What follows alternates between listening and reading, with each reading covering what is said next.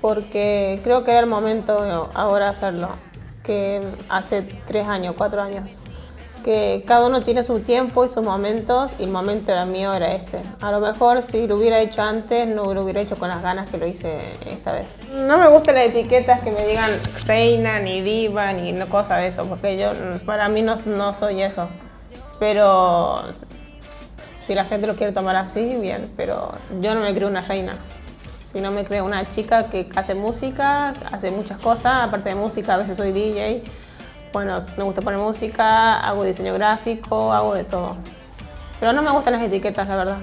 En los medios ahora no se habla de eso, pero hay mucha gente que está hace años en Madrid haciendo música y que no se le da la importancia que se le tienen que dar. Ahora dicen, ah, pues el reggaetón apareció hace un par de años en Madrid. Eso es mentira. Yo cuando empecé a venir a Madrid hace 8 o 7 años, pues yo iba a fiestas de gente latina.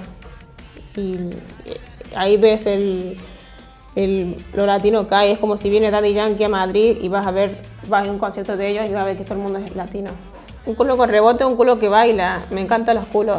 El otro día puse tweet que dice vivan los culos. Me encantan los culos. Y vivan los culos de todos colores, de todos tamaños, con estrías, con todo. Me encantan los culos.